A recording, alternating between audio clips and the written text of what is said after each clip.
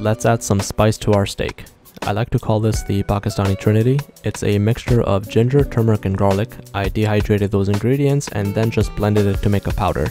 I added that to my steak with salt, and I'll also be adding dried fenugreek leaves when I'm basting it with butter instead of the traditional thyme and or rosemary. And I think this gave it a nice kick. You know, it's not always about only using salt and pepper. Sometimes you just have to mix it up. And this was a nice change. Try it out.